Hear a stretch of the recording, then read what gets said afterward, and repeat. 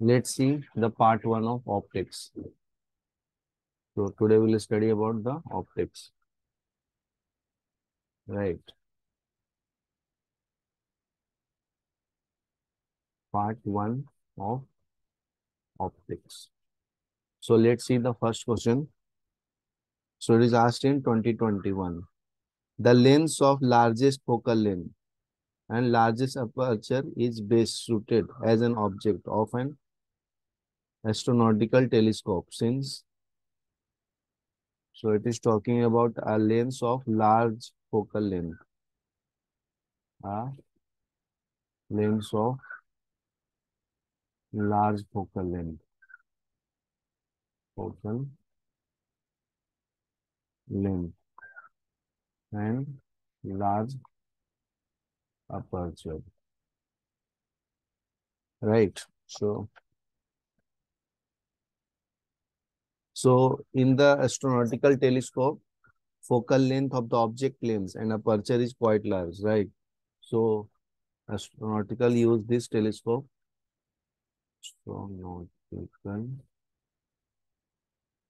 Astronomical.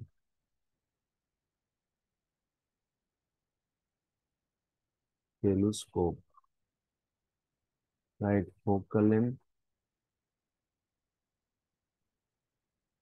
of objective lens and aperture is quite large. Right due to which light gathering power of telescope used to increase. Right so due to this reason gathering of light due to which light gathering capacity increases.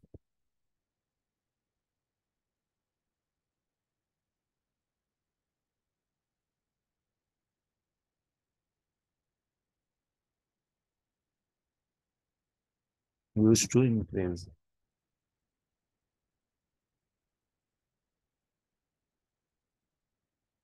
Right and resolving power of ability to objects get increased due to this reason resolving power also increases. Resolving power also increases. Right. By using large diameter fainter objects can be observed. Due to we are using here large diameter.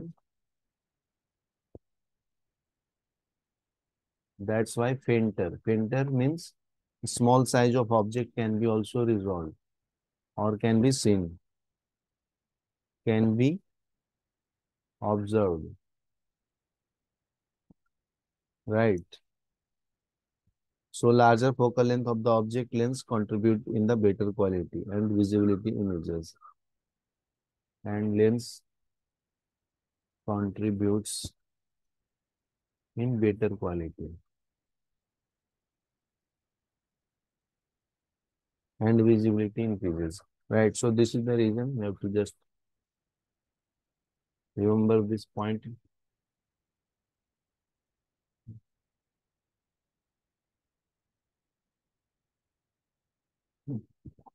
Now see the next question number second. So second is find the value of the angle of emergence from the prism. Angle of emergence angle of emergence from the prism from prism right. Refractive index of the glass is given that is mu that is root 3 this is called refractive index. Right so it is asked in NEET 2021 Let, let's see the value as we know, when any ray of light normally on the surface, then it not, doesn't face any deviation. So this is your triangle in which light is incidenting. Angle is 30 degree, this A angle. Angle B is 60 degree. This is your B. This angle is your C. Right. Suppose I am taking this point. So when any light is following down on this vertices AB at 90 degree, right? So it will just fall down at this point. This is making an angle of 60 degree. Little bit tilt, right? Due to uh, refractive index change. Refractive index of air is 1 and this is the glass, right? So its refractive index is more. So particle will bend towards the normal, right? If I draw the normal line, then this angle will be 30 degree. And this light is coming out from the main path that is emergent. Right. So as we know, incident refractive index is defined as sine I upon sine of R. Right. Now put the value. Incident angle is 30 degree. This one.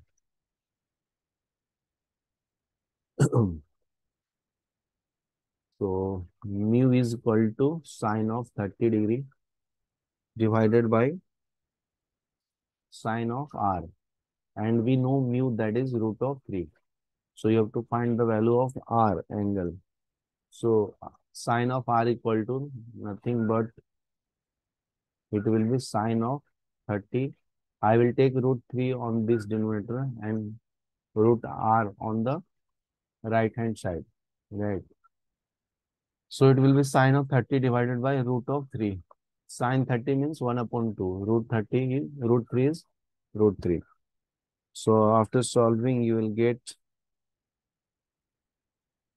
this as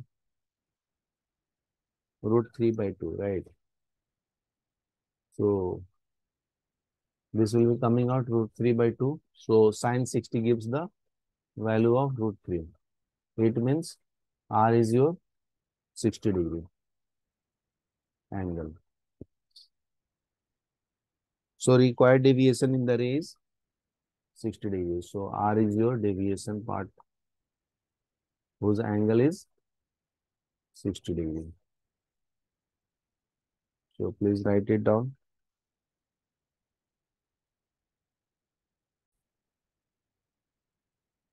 Now see the question number third. So third is focal convex lens, right? So it is convex lens A of focal length. L is given, means F value, focal length is given that is 20 centimeter. And a concave lens, its name is A. Next lens is concave lens. Right, whose name is B. Focal length is given that is 30 centimeter. If the plane mirror were put perpendicular to the plane principal axis right perpendicular to the lens and distance of the 40 centimeter from it final image would be formed at a distance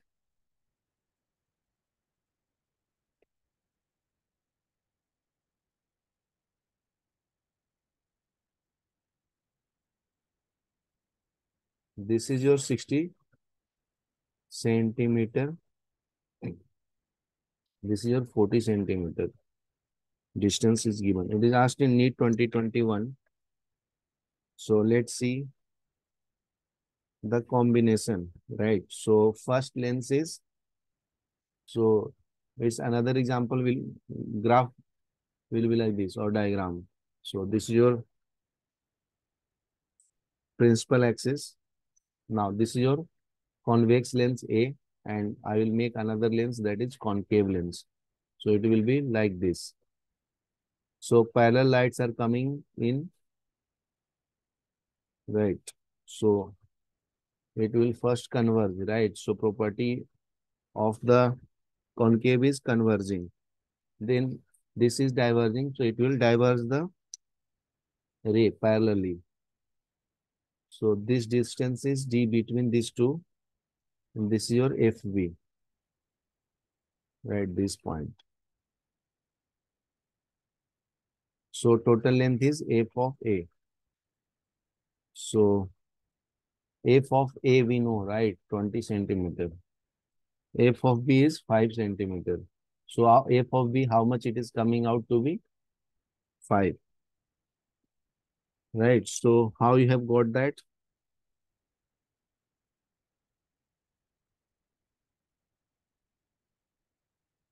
And distance between these, the length is d, we have taken, right? So I will mark with another diagram. This is the length between A and B. This is your d value. Right. If B, so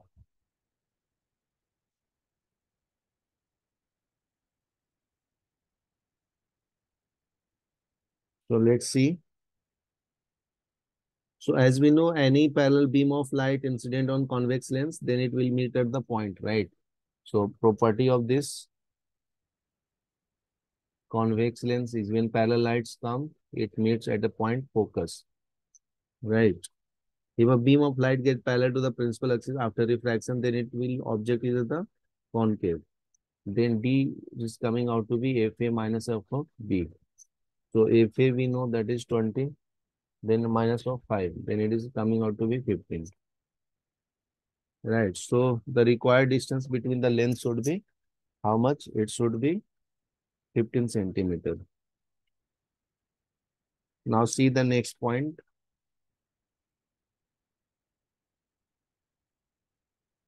Now next question is fourth one. Array is incident and angle of incident I on the surface a small angle of prism and emerge normally from the object surface. If the refractive index of the material of the prism is mu. So mu is your refractive index. Refractive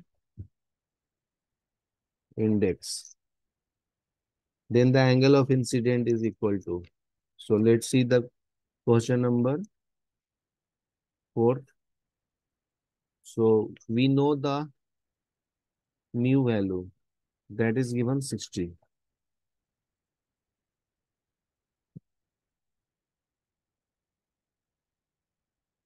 Hold for a second. And, and point object is placed at a distance of 60 centimeter, right? So there is convex lens, right, in which object is placed at a point of 60 centimeters. So its distance is 60 centimeter, this point. This is your 60 centimeter, right? And a plane mirror is there, whose distance from this convex lens is 40 centimeters, right? Now see the explanation. A point object is placed at a distance of 60 centimeter from convex lens of focal length 30 centimeter, whose focal length is given, that is 30 centimeter. If a plane mirror were kept were put perpendicular to the principal axis of the lens and a distance is 40 centimeter. So distance between these two mirror, convex and plane is D. Final image would be formed at a distance of. So let's see the explanation now. So this is the point from which light is emerging on this convex lens. So it will then try to converge it, right? So suppose it is converging at this point. So it is forming I1. And again, from this plane mirror, light is reflecting back and it is joined at this point, right? So this distance is given 20 centimeter.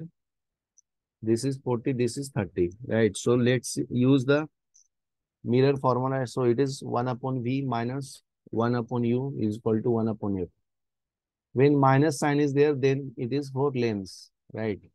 V is your image distance. Image distance. U is your object distance. And F is your focal length. Focal length. Right. So you can find 1 upon V is equal to 1 upon U plus 1 upon F. So it is 1 upon 30 minus of 1 upon 20. Minus of U is 60, right? So this is your U. So here put 60. So U sign is minus, so it will be plus now after taking on this side. So it is plus, so it is plus, and this value is on the left hand side. So use this kind sign convention when anything is on the left hand side, it is minus, and any object or ray is there, then take as plus. Now calculate it 1 upon V is equal to how much it is coming out to be. It is LCM is 60. So it will be 2 of minus 1 right? So your answer is 1 upon 16, right? So V is coming out to be 60 centimeter. Understood? So I will win, I will, I1 will work as object for plane mirror. So this has become object for the second case, right? Second case for this plane mirror. This is your plane mirror. This will act as an object, right? So this is on the right hand side, so it will be plus. So your this is your U1 20 centimeter. So use the mirror formula. So 1 upon V1 minus 1 of U1 is equal to 1 upon F. So 1 upon V1 is equal to 1 upon F plus 1 upon U1. So it is 1 upon 30 minus of 20. So take the LCM that is 60 it is 2 minus 3 that is minus 1 upon 60 is equal to 1 upon V1. So V1 is equal to minus of 60 centimeter, right? So now again I2 will be working as an object. I2 means you can see here. Wait for a second. Let's see the additional part of this also means additional value. Final virtual image will be formed at 60 centimeter from the lens and we can say 20 centimeter behind the mirror, right?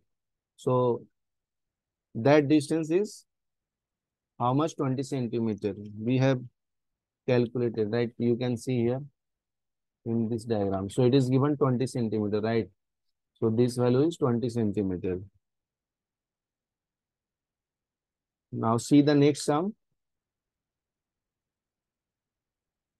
Now next sum is fifth one. Fifth one array is incident and angle of incident that is I on the surface of a small angle prism A. So A is nothing but your angle of prism, angle of prism emerges normally from the opposite surface. If the refractive index of the material is given, that is mu. So mu is your refractive index. Then the angle of incident is normally is equal to, it is asked in 2020. So let's see the explanation. So the light emerges normally from the surface. So its emergent value is equal to zero. So angle of trapezium is to write this condition also for triangular prism. R1 plus r2 is equal to a. And as we know here e equal to r2 equal to 0 so now put here r2 is 0 so r1 is coming out to be a. Right? So the whole second condition C. For surface 1, we can apply now Snell's law. Snell's law. So it is sine of i is equal to mu sine of r1. So it is sine of i is equal to mu sine of a. So theta is approximately equal to 0 degrees. So i is equal to mu of a. So we have taken theta as a very small value, very small value. So instead of sin i, I have written i is equal to mu and angle of a becomes a only, right? Due to the smaller value. So this will be the relation between angle of incident, refractive index and angle of prism. So please write it down. Now next see the sum question number six. 6 is talking about in Young's double slit experiment, if the separation between coherent source is halved, right? So in Young's double slit experiment, source distance is half, the distance of a screen from the coherent is doubled, then the fringe width it is talking about. So let's see that slit between is made half, right? So for fringe width formula is beta is equal to lambda d of small d. This is your fringe width formula. Right. So your d dash is d by 2 and capital D dash is nothing but it is 2 of D. So your new beta fringe width has become now how much? It is lambda. This is 2 of D divided by D by 2, right? So it has become 4 lambda capital D divided by small d. So you can see instead of this value, you can write beta, right? So your beta dash becomes 4 of beta, right? So this is the value we are getting relation between new fringe width and original fringe width. So this is the answer. Now see the next sum, that is seventh one. So your seventh is talking about Brewster angle IB, right? Brewster angle.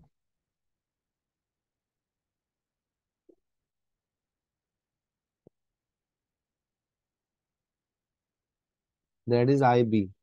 For an interference should be. So for the interference it is talking about. Interference. So let's see the question number seven. So it is nothing but it is mu is equal to tan of IB. Right. So mu's light between infinity and 1. Right. So put here IB. So it is 1 less than tan of IB is greater than infinity. Right. So it will become now take the inverse. So it will be tan inverse of 1 less than IB less than tan inverse of infinity. So 1 is nothing but it is 45 degree, right? It is IB less than infinity value gives the 90 degree value, right? So you just remember it tan inverse of 1 is nothing but 45 degree and tan inverse of infinity is nothing but it is 90 degree, right? So let's see the so please remember this relation and explanation also. Now see the question number 8. So it is talking about two coherent source of light interference and produce fringe pattern on the screen. For central maximum, phase difference between two waves is given as in Young's double slits experiment. Right. So path difference. Path difference that is delta x is equal to d of sine theta right and next one is phase difference phase difference lambda d is equal to 2 pi delta x by lambda so i will put for the central maximum for central maxima theta is equal to 0. So by using the equation 1 and 2, this is your equation 1, this is your 2. So delta D is coming out to be 0, right? So when we put delta X as 0, so this whole equation will become 0. So it is delta D of equal to 0. Understood? So please write it down.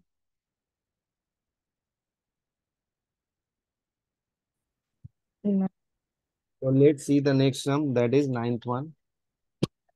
Ninth one is talking about an object is placed on the spherical principal axis of the concave mirror at a distance of 1.5. So distance is 1.5 of f, right? Focal length. The image will be. So for the mirror formula, as we know, that is 1 upon v plus 1 upon u is equal to 1 of f, right? So this is 1 upon v plus 1 upon minus of 1.5 into f is equal to 1 upon minus of f, right? So take this part on right hand side. So it will become 1 upon v is equal to 1.5 of f minus of 1 upon f, right? So I will remove this point. So you will get 10 there. So it is 10 by 15f minus of 1 upon f, right? So your LCM is 15f. So it will become 10 minus of 15. So it is coming out to be minus 5 by 15f. So it is coming out to be minus 1 upon 3f is equal to 1 upon v, right? So this is the relation between these two. And so v can be written as minus of 3v. So this is the value to it. So please write it down and join again.